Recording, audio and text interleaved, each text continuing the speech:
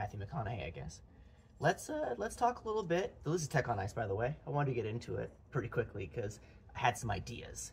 I want to talk about RTO, the hottest thing going on right now. So, RTO standing for Return to Office. Uh, if you haven't been paying attention, basically it's a uh, it's this direction that a lot of companies are taking to I don't want to say the word force, but highly advise their employees to get back into the office. And I want to talk a little bit about my story. So I've worked for four companies during the pandemic. So since, um, you know, beginning of 2020. Um, and you can find out who they are. I'm not going to like blast any of them specifically, but you can figure out pretty quickly like where I've worked. Um, so the first company that I worked for during the pandemic, uh, it was very much a culture of you have to be in the office. Quite frankly, I, I relocated um, because the option for remote work wasn't a, wasn't an option. Um, I was told I have to be in the office, I have to be there for meetings, and then COVID happened very quickly after that. So, anyway, yay! Ended up being remote anyway. Um, second company, 100% remote company, 100% distributed. Remote work was a thing. There was offices that you can go into if you wanted to. I never actually did. Second company, our third company, I specifically asked during the interview process, uh, is, am I going to have to go into the office every day? And I was told no. Um, and funny enough, six months into me working there, they started to say, you need to come into the office three days a week. I told my manager, it's not going to happen. And ended up uh, basically becoming a remote employee, like in their system. So it didn't really work out. And now I work from home. I work for a, an agency that uh, contracts at a very big tech company. So um, I can go to the office whenever I want, but it's not required. The reason why I give you this background is it, it very much is interesting to me this idea that employees are going to be more effective in the office. I think we all remember what it was like before the pandemic. Like, you know, it was completely standard to commute 30 minutes plus to work and 30 minutes home from work. Usually driving. Um, if you worked, if you lived in a big city, you could take public trans- transport, but that really wasn't a, you know, a thing, especially like on the West Coast. And that time is dead time, right? So you go in, let's just say you, you, you commute 30 minutes in. 30 minutes in of dead time, 30 minutes home, that's an hour of dead time a day where you, you're just driving. Maybe you'll be on a meeting, but like you're not really working. You're listening in on a meeting or maybe just blabbering while you're in traffic. And then you work, right? So I never really understood like, oh, it like people are more productive. What it really is, and this is kind of the crux of what I want to get to in this in this kind of rant, it's about control.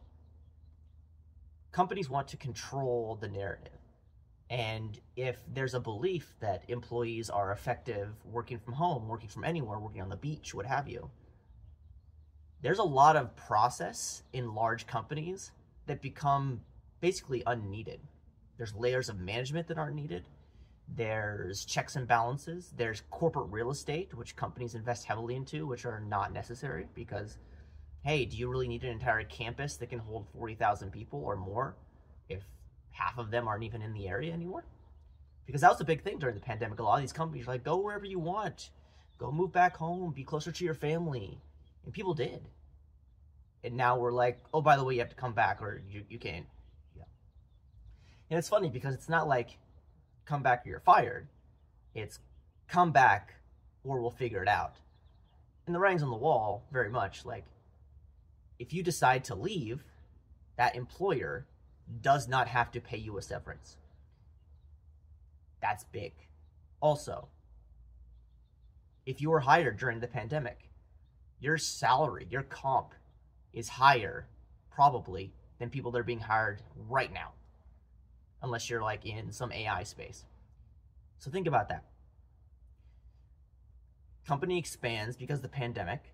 They need access to more people, more cap, more resources. So they offer better compensation. Also, they're making money hand over fist. We've talked about this in a previous thing.